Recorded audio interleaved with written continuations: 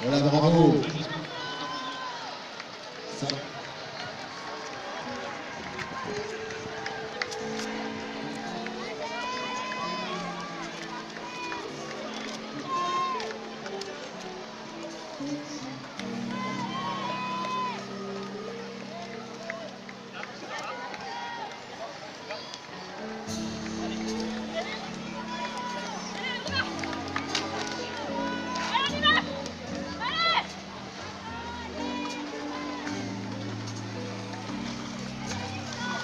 Va essayer de partir derrière la première zone, s'il vous plaît. Juste, il y a 50 mètres à faire. Après, on vous laisse tranquille.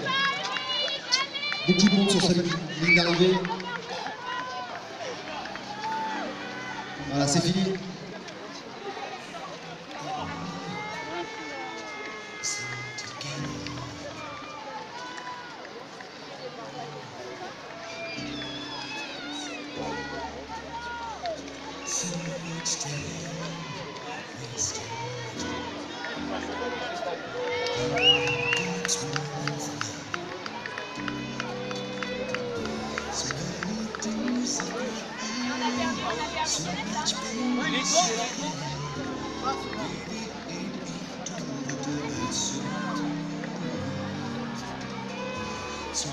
Allez, s'il vous plaît, partez juste derrière la première zone. Ah, c'est dur.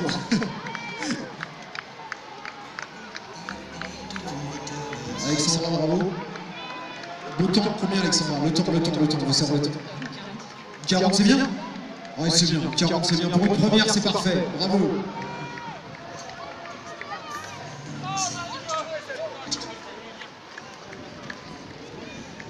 Ouais.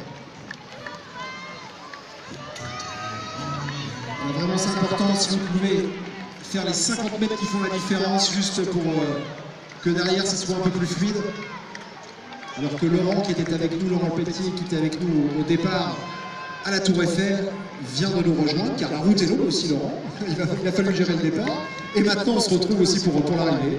Et oui Stéphane, euh, bonjour Versailles, bienvenue à vous tous et à vous toutes euh, ici sur la ville de Paris, face au château sous le soleil. Très exactement comme souvent pour le Paris-Versailles, on est ravis de vous accueillir chez nous à Versailles.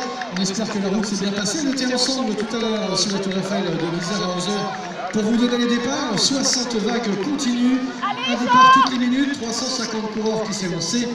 On a largement dépassé les 22 000 concurrents qui se sont élancés.